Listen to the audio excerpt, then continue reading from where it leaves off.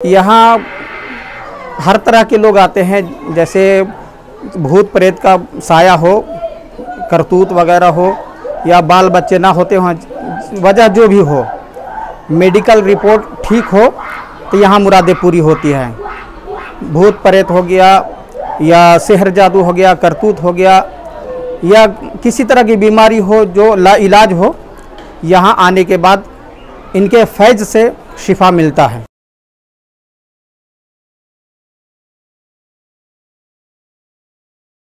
दोस्तों, आज के वीडियो में आपको लेकर के जाने वाला हूँ बीतो शरीफ दरगाह। बीतो शरीफ एक रहस्यमय दरगाह शरीफ है जो कि बिहार के अंदर मौजूद है। बिहार के पटना से 98 किलोमीटर दूर गया के अंदर ये दरगाह शरीफ मौजूद है। तो दोस्तों, अभी हम बिहार की जो राजधानी है पटना, वहाँ पे हम मौजूद है। आप ये देख सकते हो जो रेलवे स्टेशन है, रेलवे स्टेशन का ये पूरा नज़ारा।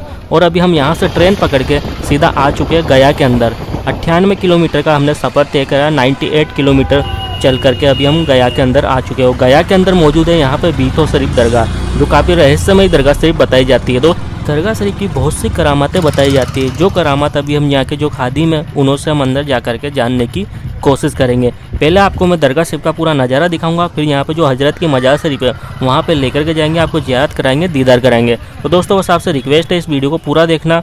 अगर आप यूट्यूब चैनल पर नए हो तो सब्सक्राइब करके बेलाइकन का बटन ऑन कर लेना। दोस्तों, दरगाह से बीतो सिर्फ़ दरगाह हज़रत मखदूम सैयद शाह दुर्बेश अशरफ रहमतुल्लाह अलैह के नाम से जानी जाती है। जैसे कि यहाँ पर लिखा हुआ है, ये दरगाह शरीफ के बाहर का यह आप नज़ारा देख सकते हो। यहाँ पर फूल और चादर की दुकानें मौजूद है। अगर आप यहाँ पर आते हो तो दरगाह शरीफ के सामने से ही फूल और चादर यहाँ पर ले सकते हो।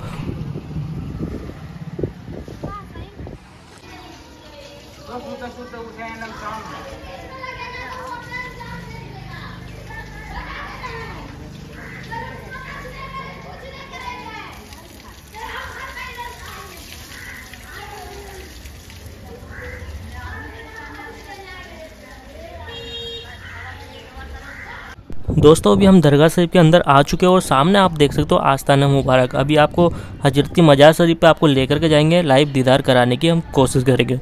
दोस्तों, यहाँ पे बताया जाता है कि बड़ी से बड़ी जो लाइलाज जो बीमारी है, जिसका कोई इलाज नहीं है, और अगर आपकी डॉक्टरी रिपोर्ट एकदम सही आ रही है फिर भी वो बीमारी आपकी सही नहीं हो रही, पकड़ में नहीं आ रही। तो यहाँ पे आने से ये सारी चीज़ें दूर होती है और यहाँ पे बताया जाता है, किसी के शरीर के अंदर भूत प्रेत अगर शैतानी ताकत है तो उसको यहीं पर कैद कर लिया जाता है। सबसे बड़ी अदालत के नाम से जाना जाता है बीतो शरीफ दरगाह को।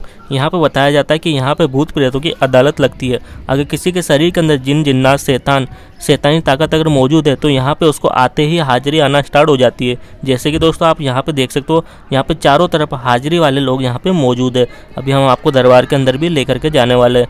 दोस्तों, दरगाह शरीफ का आपको एक बार मैं फिर से एड्रेस बता देता हूँ। अगर आप यहाँ पे आना चाहते हो तो ये दरगाह शरीफ मौजूद है बिहार के गया के अंदर।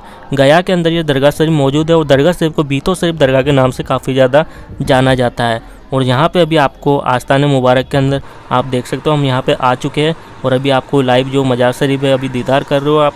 अभी पूरा नज़ारा आपको यहाँ दिखाएँगे और जो भी करामात हैं अभी हम आपको बताने वाले आप देखिए, काफ़ी बढ़िया। दोस्तों, यहाँ पे अंदर आने के बाद में आस्थान मुबारक के यहाँ आने के बाद में काफ़ी सुकून आपको मिलेगा, यहाँ पे काफ़ी शांति का अनुभव आपको यहाँ पे होगा। तो चलिए दोस्तों, पहले आप यहाँ पे ज्याद करिए, दीदार करिए, फिर हम यहाँ के जो खादिम हैं उनसे हम यहाँ के बारे में जानकारी लेते हैं।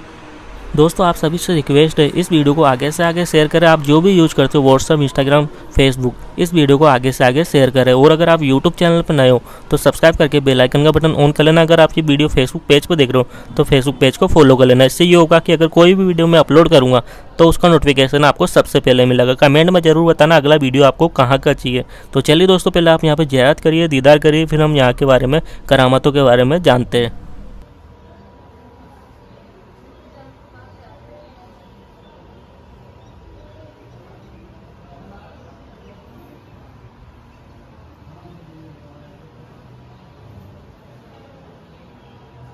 अस्सलाम वालेकुम रहमतुल्लाहि व बरकातुहू वालेकुम अस्सलाम हज़रत आप अपना नाम बताइए और दरगाह शरीफ पर आप कौन से खिदमत को अंजाम दे रहे हैं बताइए। मैं मोहम्मद इरशाद आलम रिजवी खादिम दरगाह बीथो शरीफ। मैं यहाँ खिदमत कर रहा हूँ और इमामत भी कर रहा हूँ। ये साहिब मज़ार मखदूम दुर्वेश अशरफ हैं जो किचौछा शरीफ के मखदूम साहब हैं उन्हीं के औलाद में से हैं। और ये ईरान से चलकर आए थे। ये लगभग साढ़े पाँच सौ साल इनका आए हुए हो गया और इनका मदफन यहीं बना और लोगों, अकीदतमंदों का, हाजतमंदों का यहाँ हाजत रवाई होती है, मुरादें पूरी होती है। यहाँ के सज्जादा नशीर सैद शाह अरबाब अशरफ हैं, जो अभी मौजूद नहीं है, किसी काम से बाहर गए हुए हैं। उनकी सज्जादगी में यहाँ फैज़ करम बटता है और ये लगभग यहाँ देश विदेश हर जगह के लोग आते हैं, अपना फैज़ पाते हैं, जो भी मुराद होता है, जो भी तकलीफ़ें होती है अल्लाह के करम से, इनकी दुआओं से फ़ैज़ पाते हैं, दुआ पाते हैं। और यहाँ लगभग सालों भर लोगों का आना जाना होता है, लेकिन यहाँ उर्स का जो मौका है, ये शाबान के महीने में होता है जो पाँच दिनों का उर्स होता है। आठ नौ दस और ग्यारह बारह शाबान जो हर साल यहाँ उर्स होता है।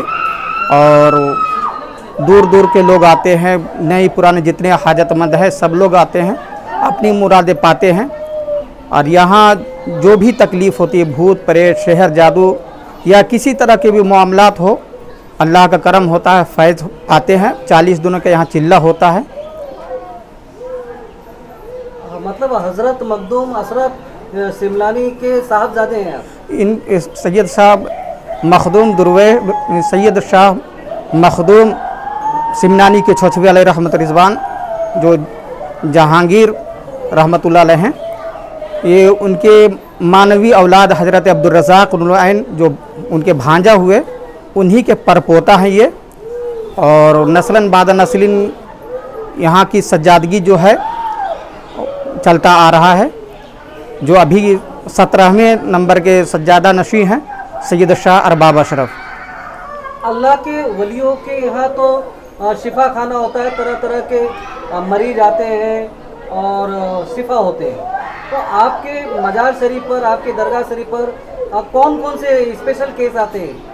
यहाँ हर तरह के लोग आते हैं जैसे भूत प्रेत का साया हो करतूत वगैरह हो या बाल बच्चे ना होते हों, वजह जो भी हो, मेडिकल रिपोर्ट ठीक हो तो यहाँ मुरादें पूरी होती हैं। भूत प्रेत हो गया या शहर जादू हो गया, करतूत हो गया, या किसी तरह की बीमारी हो जो ला इलाज हो, यहाँ आने के बाद इनके फैज़ से शिफा मिलता है।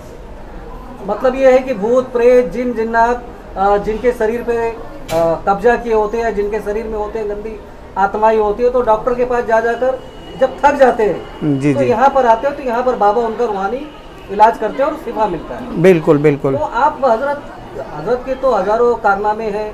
आपको एक वाक्य बता दीजिए जो आपके जहन में हो। इनका एक वाक़या है जो बहुत मशहूर है। जब शुरू शुरू में ये यहाँ आए थे तो यहाँ बहुत चर्चे में रहे बहुत ज़िक्र होता रहा इनका चूँकि अल्लाह वाले जहाँ भी जाते हैं अपना एक छाप छोड़ जाते हैं। तो जब यहाँ आए थे तो यहाँ के बादशाह शाह आलम थे। जब उनको मालूम हुआ इनकी करामत का तो उन्होंने अपनी बेटी को लेकर यहाँ आए, जो उनका पागलपन का मर्ज था, पागल थी। तो यहाँ आने के बाद अल्लाह के करम से उनको फैज़ मिला, शिफा मिला, जो उन्हीं की दी हुई, जो जागीर है, जो आज तक यहाँ चल रहा है। मतलब ये बादशाह की दी हुई जागीर पर ये जो जी, जी, जी। है, ये चल रहा है। जी जी। डायरेक्ट इनको नहीं मिला। मखदूम दुर्वेश अशरफ जो हैं इनको बादशाह शाह आलम ने देने की कोशिश किया लेकिन इन्होंने इनकार किया। लेकिन बाद में भी इसरार जारी रहा और इनके इसरार पर इनके औलाद जो हैं उनको दिया गया और उन्होंने कबूल कर लिया। अच्छा आप ये बताइए कि जायरीन तो हिंदुस्तान के कोने कोने से आते होंगे तो जायरीनों के लिए रहने का या उनके लिए क्या क्या आपके ट्रस्ट की तरफ़ से क्या क्या इंतज़ाम है? यहाँ जित दूर दराज के लोग आते हैं और जिसके लिए रूम का इंतज़ाम है, रूम है, अपना पकाते बनाते हैं और चिल्ला पूरा करते हैं। रूम है, बिजली बत्ती का इंतज़ाम है और पानी का इंतज़ाम है जो दस्तूर है जो ज़माना के हिसाब से जो चल रहा है यहाँ सारी फैसिलिटी है। यहाँ शहर में जाने के लिए गाड़ी भी हमेशा इंतज़ाम में रहता है चौबीसों घंटा गाड़ी का इंतज़ाम रहता है। यहाँ पर अगर जो आज तक नहीं पहुँचा है उसे अगर आना हो तो जरा रास्ता बताइए कि उन किन किन रास्तों से यहाँ पर पहुँच सकता है। यहाँ आने के लिए बस से आते हैं तो गांधी मैदान स्टैंड है सरकारी बस स्टैंड है वहाँ बस रुकती है। और वहाँ से आने के बाद ये किरानी घाट एक जगह है, जो चौराहा पड़ता है। किरानी घाट आने के बाद ये आपको बीथो शरीफ के लिए टेंपू वहाँ हमेशा लगा रहता है। आप वहाँ किसी से पूछेंगे या टेंपू वाले खुद आवाज़ देते रहते बीथो शरीफ करके तो आप वहाँ से बीथो शरीफ के लिए आ सकते हैं। और गया स्टेशन जो हो गया रेलवे स्टेशन, वहाँ से भी जितने टेंपू आते हैं टेंपू वाले आवाज़ दे देते हैं नदी पार नदी पार करके या किरानी घाट बोलते हैं तो आप उन किसी भी टेंपू पर बैठेंगे नदी पार करके जो बोलते हैं उस पर बैठेंगे और उनको बोलिएगा कि हमको किरानी घाट उतार दें चूँकि हमको बिथो शरीफ जाना है। तो वो आपको निगहबानी कर देंगे आप किरानी घाट उतार देंगे वहाँ से फिर टेंपू यहाँ मिल जाता है। बाबा के दरगाह से लग कर ही नदी है और नदी और बाबा के उसमें क्या क्या मसला है? ये फल्गु नदी है। ये काफ़ी ज़माने से नदी है, कोई नई बात नहीं है। ये एक चट्टान था, एक ऊँची जगह थी। जब यहाँ आए तो उनको यही जगह पसंद आया। तो यहीं अपने इबादत गाह बनाया और यहीं इबादत करते रहे। और ये नदी के भी एक खूबी है। यहाँ नदी में नहाने से भी शहर वगैरह कटता है, फ़ायदा होता है। और एक ख़ास खूबी ये है कि कितनी भी बारिश हो जाए कितनी भी बाढ़ आ जाए लेकिन आस्थाने तक कभी नहीं आया। ये कमाल की बात है। आवाम को आप क्या पैगाम देना चाहिए आवाम को यही कहना चाहेंगे कि वलियों के यहाँ आप जिस भी मुराद लेकर जाएँगे अल्लाह सुनता है। तमाम खूबियों का मालिक अल्लाह है। और उन्हीं के ज़ात से वलियों की एक सिफत मिली है कि वहाँ जाने से दुआ फरियाद करने से मुरादें पूरी होती है। आप भी अपनी तकलीफ़ लेकर आएँगे। अकीदत से और मोहब्बत से तरीके से आप यहाँ चिल्ला का मामला जो होता है या फातिया न्याज होता है आप अकीदत से आएँ और अपना मुराद पाकर जाएँ। आप एक बार फिर से अपना नाम बता दीजिए। मेरा नाम सैद मेरा नाम मोहम्मद इरशाद आलम रिजवी है। मैं खादिम दरगाह बिथो शरीफ